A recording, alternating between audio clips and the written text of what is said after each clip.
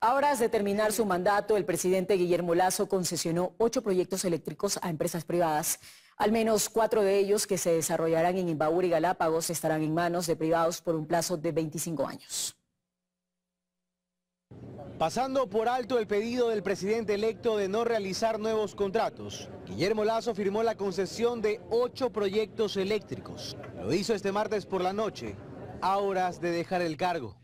Eso permite incrementar la capacidad instalada y aumentar la generación con energía totalmente renovable.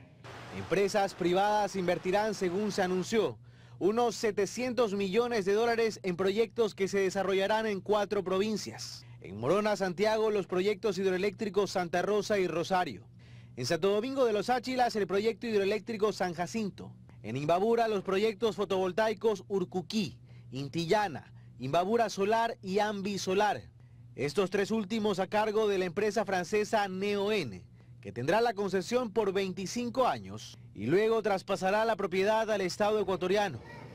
También el Ejecutivo dio luz verde al proyecto Conolofus, que se realizará en Baltra y Santa Cruz, en las Islas Galápagos. En agosto de 2022, este noticiero reveló que en los términos contractuales, el Estado se comprometía a asumir el 80% del costo del kilovatio hora, 12 centavos más de lo que actualmente subsidia, para mantener una tarifa homologada con el continente, cliente fijo. El consorcio ganador está conformado por las firmas Gran Solar y Total Eren.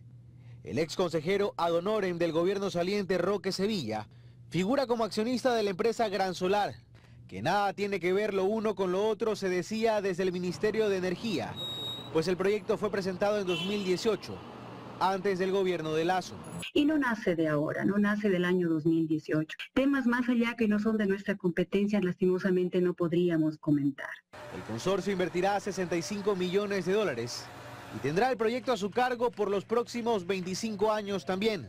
Es uno de los ocho proyectos concesionados por el gobierno saliente. El entrante advirtió ya que todo lo firmado a última hora será revisado.